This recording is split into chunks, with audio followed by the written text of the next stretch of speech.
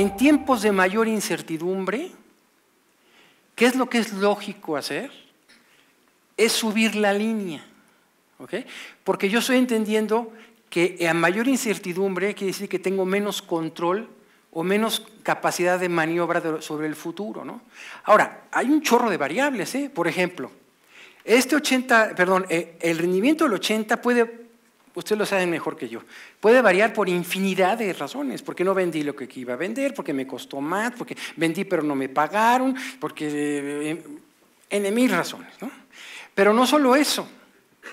El 60 también puede, eh, perdón, no el 60, sino el costo del 60 también puede variar.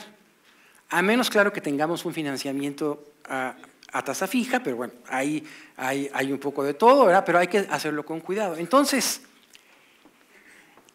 como el futuro es incierto, y por lo tanto implica riesgos de pérdidas muy importantes, perdón que repita, en el de arriba Cualquier cosa que pase del lado izquierdo pasa del lado derecho. O sea, no se magnifica para bien o para mal. Bueno, entonces, ¿cómo diseño este lado de acá? Bueno, yo creo que entra mucho la, actitud de riesgo de los accionistas, ¿verdad? O sea, un accionista conservador, pues yo no tengo duda que va a tomar una estrategia parecida a la de arriba. Dice, no, yo nada más quiero mi negocio. un accionista muy agresivo o un grupo muy, agresivo va a hacerlo de 90-10 o, 80-20. ¿no? Entonces, un director financiero responsable no necesariamente le van a hacer caso. Es muy probable que no. Pero él tiene que luchar por, por, hacer conciencia de estas cosas. ¿no? O sea, no sé si ustedes que lo han vivido, pero cuando se presentan los proyectos en las empresas, Cualquier proyecto de inversión, voy a hacer otra planta, voy a comprar más camiones, lo que ustedes me digan. Siempre tiene la gráfica esa del palo de hockey. ¿no? Siempre, o sea, eso no falla. ¿no? Y entonces, eso, papita, entonces, ¿eso quién lo, eso quién lo propone? La, la, gente de la operación. O sea, la gente que quiere hacer la planta, la gente que quiere comprar los camiones, ¿no? Por cierto, déjenme aquí hacer un paréntesis que viví en varias empresas durante muchos años. A veces se discutía para aprobar los proyectos de inversión, decíamos, oye, ¿cuál es la tasa de retorno mínima que le voy a exigir un proyecto? ¿no? Entonces decíamos, pues, me voy a inventar el 12. Perfecto. Entonces, hacen los cálculos y aquí está el 12, en una proyección. Y de repente, ¿sabes qué? El riesgo y no sé qué. No, pues ahora va a ser 20. Aquí está el 20. No, y si me pones 45, yo te enseño papeles que dice 45. ¿Es cierto o no? Bueno. Ahora, el problema es que a la hora de que viene el futuro y ya viene la operación real y el pago de la deuda, el director financiero es el que, es el que está hasta adelante y dice, oye, espérame, el banco no le va a aceptar ese tipo de razones, ¿no? Entonces, hay que tener, respondiendo un poco al, al tema, ¿cómo respondo a la incertidumbre? A mayor incertidumbre, pues yo tengo que estar consciente de este fenómeno y, debería yo de moderar mis proyecciones.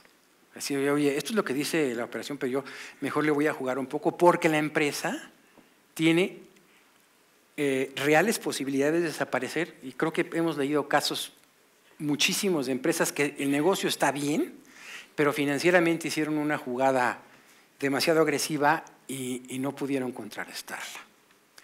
Este es otro tema que no, voy a, no voy a poder ya ver más a fondo, pero no quería dejar de mencionarlo. Si se fijan, ahorita todo lo que hicimos fue hablar sobre rendimientos. O sea, dijimos, el activo rinde el, creo que dije el 15%, el pasivo. Entonces, es una cosa que va orientada a cómo maximizo mi rendimiento. Pero cuando hablo del flujo de efectivo, esa es la vida misma. ¿ah? Entonces, dice ahí on-off. O sea, eh, ¿por qué está hecha esa lámina? Eh, que me parece muy clara.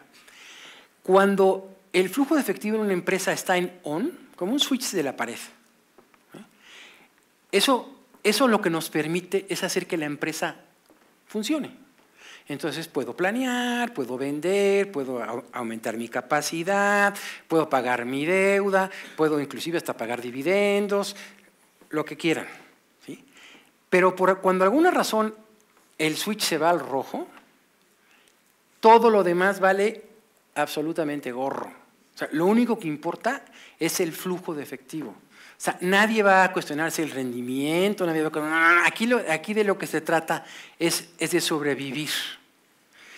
Eh, ¿Por qué pongo esto? Porque hay casos, y son públicos, pero prefiero no mencionarlos, de que ahí pusimos una zona de capital propio y una zona de deuda. pero la deuda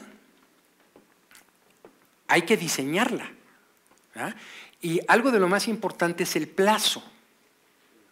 Es el plazo, porque ahí yo, yo nada más hice una, una división de cosas, es el plazo. Entonces, fíjense, hay empresas públicas en México y todos hemos de conocer, que como el financiamiento a largo plazo, normalmente, no siempre, pero normalmente es más caro que el financiamiento a corto.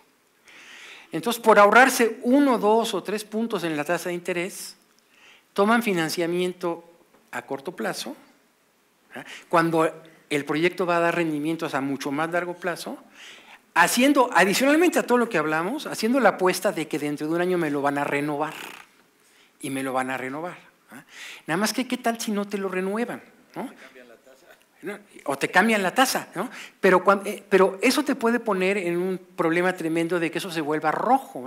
Y entonces, ¿qué creen? Ya no manejo mi empresa. Porque entonces tengo encima los bancos, tengo encima, si, se me ocurrió emitir valores públicos, tengo encima a, los inversionistas, eh, bueno, una serie de catástrofes. Entonces, hay que tener mucho cuidado de dos cosas. Primero, entender que el apalancamiento financiero, que es totalmente razonable, puede operar en los dos sentidos. no, hay milagros, no es de que yo sea seguro. Y si exagero en mi apalancamiento, la deuda me va a aplastar y sobran evidencias de que eso sucede. Y lo segundo es que tengo que diseñar mi plan financiero de tal forma que tenga yo holgura de que si algo sale mal y no se cumple el palo de hockey, tenga yo cierto movimiento. Miren, eh, a, veces me, a veces me preguntan cuál es la mejor manera de medir el apalancamiento. Bueno, no sé si es la mejor, pero una de las más comunes es comparar la deuda, el, monto de la deuda con lo que se llama el EBITDA o la guafida.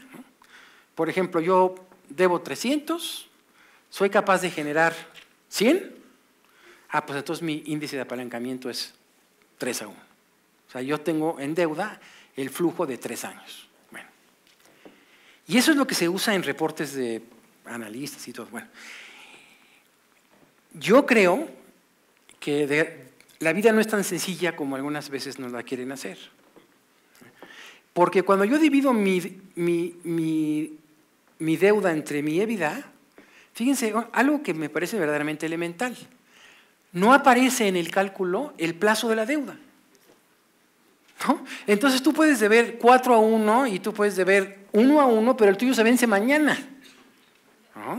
Entonces, hay que tener, o sea, no se puede simplificar de esa forma. Hay que hacer proyecciones constantemente, hay que estarlas adaptando, hay que, hay que ver realmente qué se está cumpliendo de lo que, de lo que dijimos y qué no hay que revisar qué deuda tenemos y por amor de Dios hay que tener espacio de maniobra.